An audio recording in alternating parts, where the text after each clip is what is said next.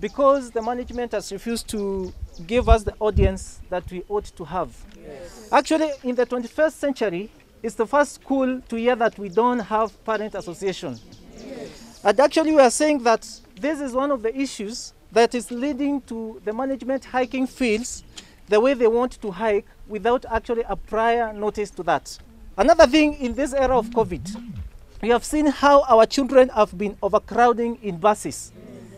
We want, uh, and even in classes, we want to say that we don't want to receive our children back in caskets. na manager, lakini wamekataa kuongea na sisi juu ya fees increasement.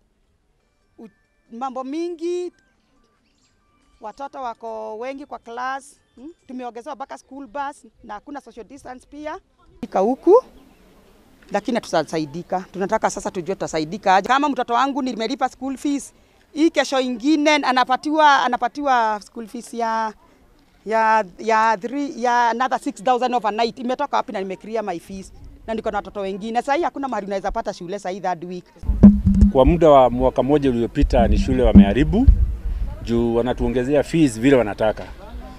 For the this term wakati tumefungua wametuletea fees ambapo tumelipa after one week tukapewa structure ingine ya fees, na hatukuwa tumejitayarisha kwenda kulipa hiyo fees. So tumekuja kama wazazi na tumejaribu kuongea na management. Instead of management kuja kuongea na sisi, wameleta polisi.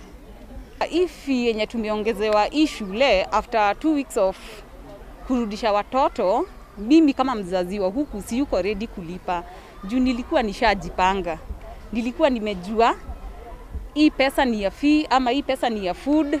Yani kila mzazi alikuwa amejipanga. Considering tumetoka deck holidays.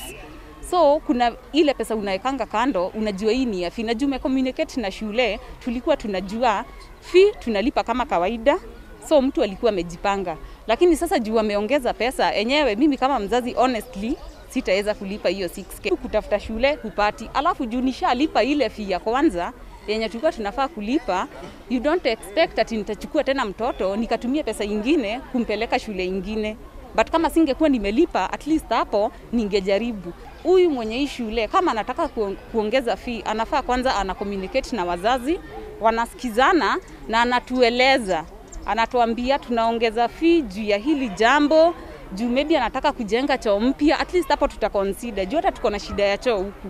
So kama angetukalisha chini kama wazazi, atu explain atuambie tunataka mimi kama mwenye shule nataka kujenga choo, nataka kuongeza classes ama nataka kufanya kitu.